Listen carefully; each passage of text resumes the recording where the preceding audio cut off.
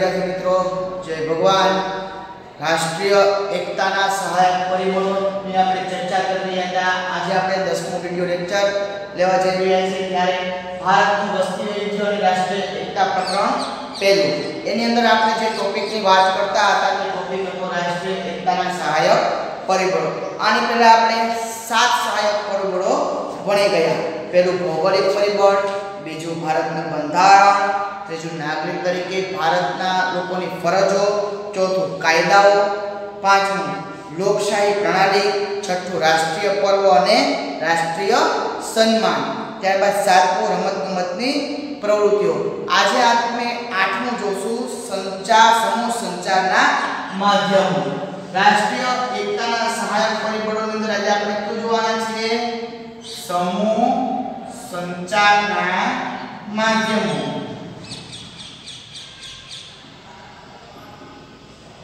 સમૂહ સંચારના માધ્યમોની અંદર આપણે વાત કરીએ તો કે, જેવા કે, ક્યાં ક્યાં કહેવાય સમૂહ સંચારના માધ્યમો? આપણે જાણીએ છીએ, રોજ આપણે એના પરિચિતમાં છીએ. એક તો વર્તમાન પત્રો, એટલે કે ન્યૂઝપેપર્સ ત્યારબાદ રેડિયો. રેડિયો આજે લગભગ મોટા ભાગના આધુનિક યુગની સાથે રેડિયો ખૂબ ઓછા લોકો પાસે જોવા મળે છે, પરંતુ એ પણ એક સમૂહ સંચારનું માધ્યમ છે. ત્યારબાદ વાત કરીએ ટેલિવિઝન, કોમ્પ્યુટર મોબાઈલ ફોન વગેરે રાષ્ટ્રીય એકતા સર્જવામાં મહત્વની ભૂમિકા ભજવી રહ્યા છે. ટેલિવિઝન છે એ કોમી એકતા, સર્વધર્મ સંભાવ, દેશભક્તિ વગેરેના લક્ષમાં લઈને ધારાવાહિક સિરિયલો હોય, કોઈ પિક્ચરો હોય કે સમૂહગાન સમૂહ નૃત્ય વગેરે કાર્યક્રમો તથા સ્વતંત્રતા દિન, ગણતંત્ર દિન ઉજવણીના વિવિધ કાર્યક્રમો વગેરે દ્વારા રાષ્ટ્રીય નાગરિકોમાં રાષ્ટ્રપ્રેમ પ્રેરક બનાવે છે. આપણે ટેલિવિઝનની અંદર જુદા જુદા કાર્યક્રમો જોઈએ. કોઈ પિક્ચરો જોઈએ, કોઈ સાંસ્કૃતિક કાર્યક્રમો જોઈએ. પછી પંદરમી ઓગસ્ટ, છવ્વીસમી જાન્યુઆરી જેવા સ્વતંત્ર દિવસ અને પ્રજાસત્તાક દિવસના કાર્યક્રમો જોઈએ છીએ. કોઈ ધારાવાહિક સિરિયલો જોઈએ છીએ. તો આ બધાની અંદર છે ટેલિવિઝનની અંદર મુખ્ય બાબત શું હોય છે? કે દેશના તમામ નાગરિકો છે, એના સુધી આ બાબતો પહોંચે અને મુખ્ય હેતુ કે રાષ્ટ્રની એકતા જળવાઈ રહે તે હોય છે. એટલે કે આ જે ટેલિવિઝનો છે, એના દ્વારા છે ભારતની અંદર રાષ્ટ્રીય એકતા જળવવાનું મહત્વનું પરિબળ પૂરું પાડે છે. આતંકવાદ, કોમવાદ, જ્ઞાતિવાદ ભાષાવાદ, પ્રદેશવાદ કે નક્સલવાદ જેવી સમસ્યાઓને ધારાવાહિક, ફિલ્મ કે સમાચાર જેવા કાર્યક્રમમાં વણી લઈને દેશના નાગરિકોને સાચી સમજણ આપવાનું કાર્ય કરે છે. આપણે જાણે આતંકવાદ હોય, કોમવાદ હોય જ્ઞાતિવાદ, ભાષાવાદ, નાગરિક પ્રદેશવાદ જેવા નક્સલવાદ જેવી સમસ્યાઓ છે. આ સમસ્યાઓને એક ફિલ્મમાં વણી દેવામાં આવે છે. આપણે ભૂતકાળની અંદર ઘણા એવા આતંકવાદી હુમલાઓ થયા છે. એને આધારે ફિલ્મો બની છે. નક્સલવાદી હુમલાઓ થયા. એને આધારે ફિલ્મો બનવામાં આવી છે. તો એના દ્વારા શું છે કે સાચી માહિતી ભારત દેશના તમામ નાગરિકો સુધી પહોંચે.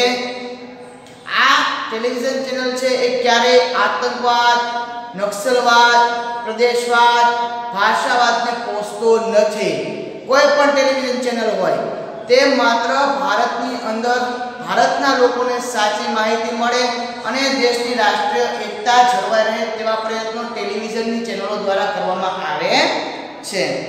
દેશના નાગરિકોનું મનોવલણ રાષ્ટ્રપ્રેમ તરફ ઘડી છે. આપણે જોઈએ કે ટેલિવિઝનની અંદર આવતા કાર્યક્રમો હોય, એનું તરત આપણી ઉપર અનુસરણ થાય છે.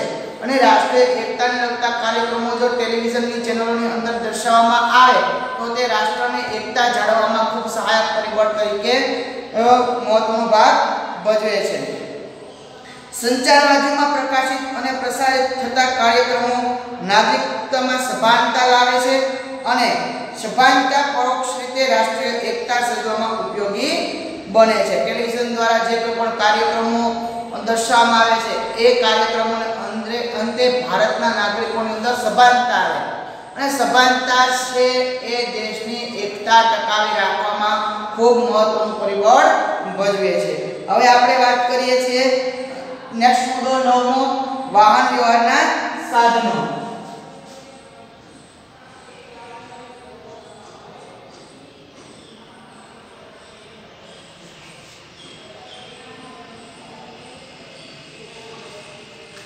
નેક્સ્ટ મુદ્દો કયો આવ્યો આપણે. વાહન વ્યવહારના સાધનોની આપણે વાત કરવા જઈ રહ્યા છીએ. ભારત ભૌગોલિક, સાંસ્કૃતિક વિવિધતા ધરાવતો દેશ છે. આપણે જાણીએ છીએ ભારતને, આપણે નેક્સ્ટ લેક્ચરમાં પણ જોયું કે ભારતની અંદર ભૌગોલિક વિવિધતાઓ ઘણી પ્રકારની છે, સાંસ્કૃતિક વિવિધતાઓ પણ ઘણી પ્રકારની છે. પરંતુ વાહન વ્યવહારના સાધનો આ બધાને જોડવામાં ઘણી મહત્વની ભૂમિકા ભજવે ખાસ કરીને હું તમને વાત કરું કે ભારતની અંદર જ્યારે રેલવે વ્યવહાર શરૂ થવામાં આવ્યો અંગ્રેજો પોતાના સ્વાર્થ માટે ભારતની રેલવે વ્યવહાર ચાલુ કર્યો. એ સમયની અંદર ભારતના એક પ્રદેશના લોકો બીજા બધા સંસ્કૃતિથી એટલા બધા પરિચિત હતા નહીં. રેલવે વ્યવહાર તેને પોતાના બિઝનેસ માટે કે પોતાના વેપાર માટે અને સૈનિકોની હેરફેર માટે શરૂ કર્યો. પરંતુ એનો સીધે સીધો ફાયદો કોને થયો? ભારતને થયો. ભારતની અંદર રાષ્ટ્રીય એકતા જગાવવામાં મહત્વની ભૂમિકા કોઈ ભજવી હોય તો રેલવે છે. અને આ રાષ્ટ્રીય એકતાને કારણે ભારત દેશ છે ઓગણીસો ને સુડતાલીસની અંદર આઝાદ થયું. ત્યારબાદ વાત કરીએ, આ સાધન લીધે પ્રાદેશિક વૈવિધ્ય ધરાવતા લોકો વચ્ચેનું આદાન પ્રદાન શક્ય બન્યું છે. તેનાથી એક જ રાષ્ટ્રના નાગરિક હોવાની ભાવના છે, ભારતના લોકોની અંદર દઢ બની છે. આપણે જે રેલવે દ્વારા એક પ્રદેશમાંથી બીજા પ્રદેશમાં જઈએ છીએ અને એકબીજાના પ્રદેશથી પરિચિત થઈએ છીએ, એકબીજાની સંસ્કૃતિથી પરિચિત થઈએ છીએ અને અંતે શું આવે છે કે ભારતના નાગરિક હોવાની ભાવના છે એ લોકોની અંદર દળ બનતી જાય છે. ભારત છે એ વિશ્વનું સૌથી મોટું રેલવે નેટવર્ક એટલે કે એક લાખ પંદર હજાર કિલોમીટર ભારતીય રેલવે લાઈનો આવેલી છે. દરરોજના બે પોઈન્ટ ત્રણ કરોડ લોકો મુસાફરી કરે છે જે ભારતના બધા રાજ્યો અને પ્રદેશોને જોડે. એટલે આપણે કહી કે રોજના અઢી કરોડ લોકો છે રેલવે દ્વારા ભારત અંદર મુસાફરી કરે છે. એ એક પ્રદેશથી બીજા પ્રદેશને જાય છે અને જોડે છે. તે જ રીતે વિમાન સેવા દ્વારા પણ ભારતના મોટા નગરો જોડાયા. તેનાથી ઝડપી વાહન વ્યવહાર શક્ય બન્યો છે. સૌથી કોઈ સંચાર માટે વાહન વ્યવહારનું સૌથી કોઈ ઝડપી સાધન હોય તો તે વિમાન છે. મોટા મોટા શહેરોની અંદર વિમાન મથકો આવેલા છે, જેથી કરીને એક મોટું શહેર છે, બીજા મોટા શહેરના કોન્ટેક્ટમાં રહે છે. વર્તમાન સમયમાં નોકરી, ધંધા, રોજગાર, શિક્ષણ તથા પ્રવાસ પર્યટન માટે દેશના નાગરિકો છે એ વાહન સાધનો દ્વારા એકબીજાની નિકટ આવે છે અને પરોક્ષ રીતે રાષ્ટ્રીય એકતામાં મહત્વની ભૂમિકા ભજવે છે. આપણે જાણીએ છીએ નોકરી, ધંધા, શિક્ષણ કે રોજગારી મેળવવા માટે કે વ્યવસાય માટે ભારતના લોકો છે એક પ્રદેશમાંથી બીજા પ્રદેશમાં જાય છે, એક રાજ્યમાંથી બીજા રાજ્યમાં જાય છે અને તેના કારણે છે એ આપણે વાત કરીએ તો કે નાગરિકો વચ્ચેના વ્યવહારના સાધનો વાહનના સાધનો દ્વારા એકબીજાની રીતે નિકટ આવ્યા છે અને આ રીતે તે ભારતની રાષ્ટ્રીય એકતા સર્જવામાં મહત્વની ભૂમિકા ભજવી છે. ત્યારબાદ આપણે વાત કરીએ પરસ્પરાવલંબન અને સંયોગીકરણ